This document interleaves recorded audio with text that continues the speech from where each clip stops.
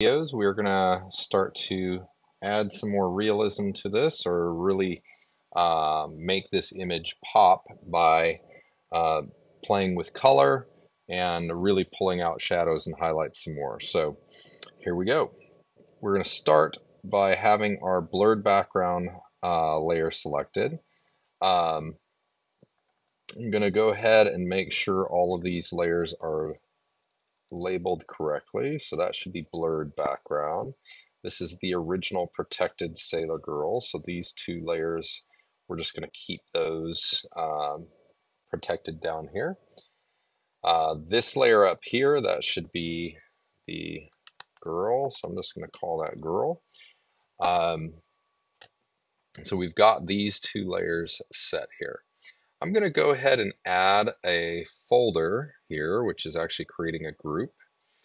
And a folder allows me to keep certain layers together. So these protected layers that I've got down here that I don't want to lose, I'm going to go ahead and drag them into that folder. There we go. There's that one and then like the background layer in there as well. It may not let me, so I'm gonna have to unlock it.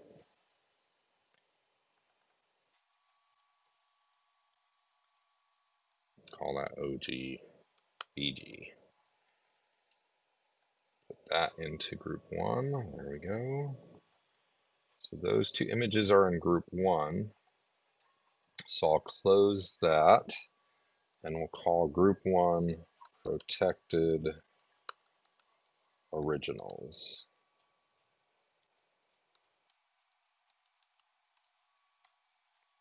So there's my protected originals. Okay, here's the blurred background. Here's the girl. So I want to start on this layer. I'm going to go ahead and add a new layer. We're going to call this layer orange glow. There we go. So I'm going to start by selecting my brush. So here is my brush. I'm going to go ahead and select an orangey color to match this fall scene. That looks pretty good in there. And I'm going to come up into the orange area up here, kind of light, not too intense in the orange, but so muted right about there. Hit OK. Now my brush is pretty small, so I'm actually going to select a much bigger brush. I'm going to go to a 2000 pixel brush. See what that looks like. And my hardness should be set to zero there. All right, there's my 2000 pixel brush. Let's see what that does. If I click there. Okay, I just click just behind her head. And that's pretty good. Um, what I'm going to do now is I'm going to set that to screen. So notice it actually kind of lightens that background and it blends the colors of that orange brush with that background. I'm going to move that a little bit, see that's okay. That's all right. Sorry, I might redo that. Uh, let's go. Put that dot a little bit lower there so it gets into that color. There we go. That's where I want the dot.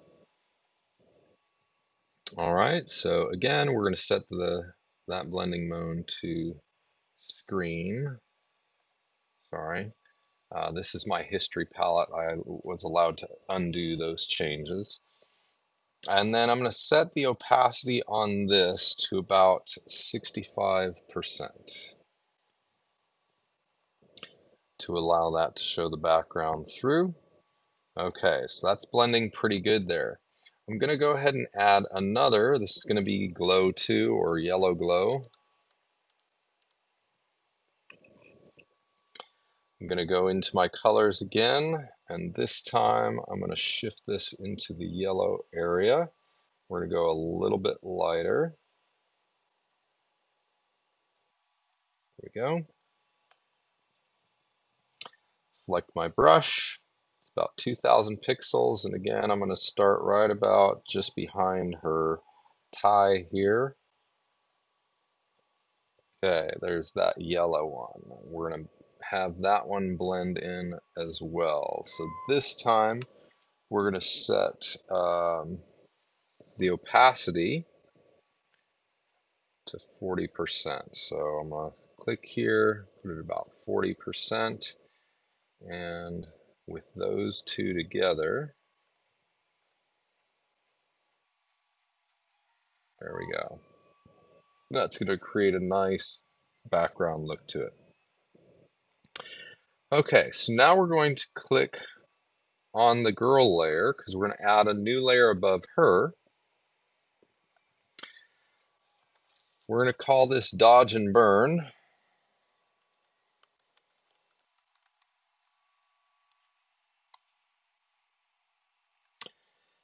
And in this layer, we're going to do something that's kind of interesting. So follow along here. We're going to fill that layer, edit fill. We're going to fill it with 50% gray. I'll keep kind of watching here. So in this layer, we want it to only affect the layer below it in the shape of it. So in order to do that, rather than creating another layer mask, what I'm going to do is I'm going to right click on this layer and I'm going to hit create clipping mask. And as you can see, without me having to add a layer mask or um, cut out pixels from this layer, it's got this arrow now pointing to the layer below it, which tells me that it's using this layer as a clipping mask. And since this layer only has the girl showing, that means that the gray is only going to show where the girl is. It's kind of interesting, quick way to mask something out is to use a clipping mask. It uses the layer below it. All right, the next thing we're going to do is we're going to set that gray layer to overlay. And by choosing overlay, it actually looks like it's doing nothing. But the way this works is that in the gray areas, it doesn't do anything, but we're going to start adding some lighter areas and some darker areas. And anywhere it deviates from 50% gray, it's going to begin to um, lighten or darken that part of the photo. So I'm going to zoom back in here. All right, there we go. I'm zooming back in. I'm going to grab the dodge and burn tool, okay? So we're going to be using dodge and burn, which is a way of lightening the exposure and darkening the exposure in order to lighten and darken certain areas of her face and her neck. So we're trying to add three-dimensionality. So the first thing I want to do is add a deeper shadow under her neck. Notice her cheek is not separating from her neck. We're going to go ahead and use the lasso tool to try and outline the area we want to focus on.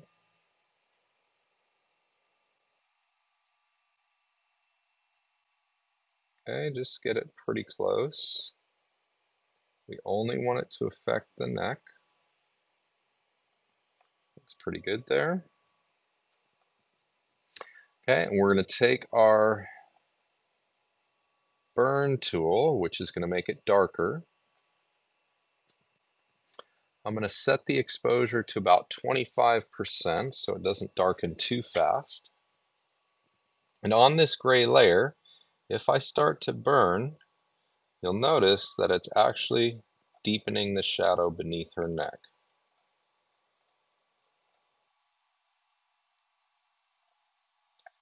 So to take it to about there. I'm going to deselect that. And now she's got more definition along her cheek, right? Her cheek's popping out, her neck's receding a little bit more. That gives it a little bit more dimension. All right, so now I can actually do the opposite. Since we created a shadow, now we're going to create some highlights. Again, I'm going to take my uh, exposure to about 25% so it doesn't change too fast. I'm going to zoom into her face again here. I'm going to change her brush size. You can do that with the left square bracket. Shrinks the brush size. So I'm going to go ahead and add some highlights along her hair here. Want to give some dimensionality to this.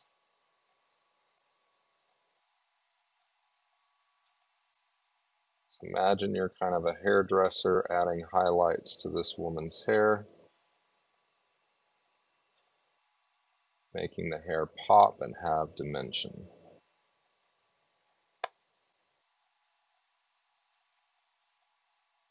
I don't have to worry about going outside the lines because that clipping mask is keeping me from messing that up. Okay, nice.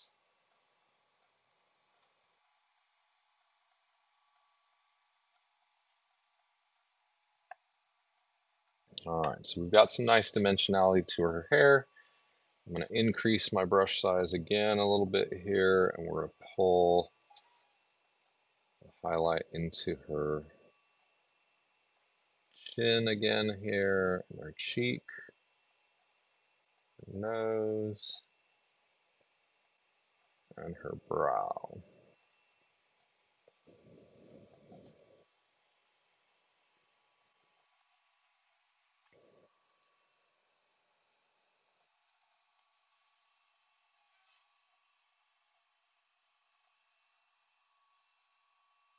All right. Off that edge.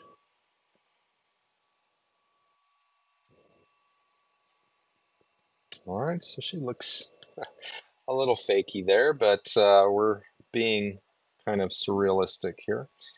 We're going to add some highlights along each fold. So think about the folds as things that have edges that need to pop out, right? So anywhere there's a nice fold, we need to separate that from the shadows beneath it. So I'm coming along all these little folded edges and bringing in some highlights.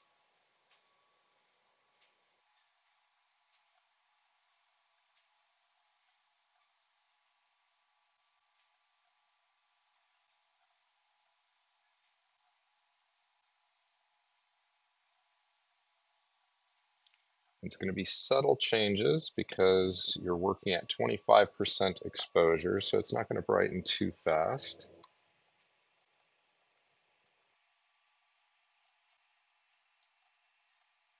But it will, in fact, brighten just enough. We can bring out her tie a little bit more.